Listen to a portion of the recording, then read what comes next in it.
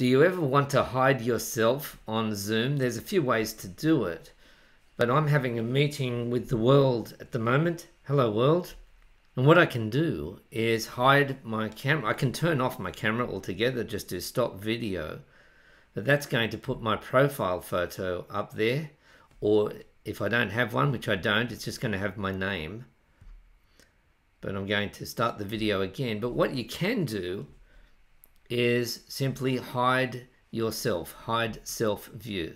So right click here, hide self view. And then it's just me not staring at myself because it's a bit like looking at somebody with a mirror sitting next to them, right? it's a bit distracting. There we go. So you can show your self view. Just click on those three dots and then show self view. By the way, if you don't have that functionality, then check you are running the latest version of Zoom. Go to zoom.us in the top left and go check for updates.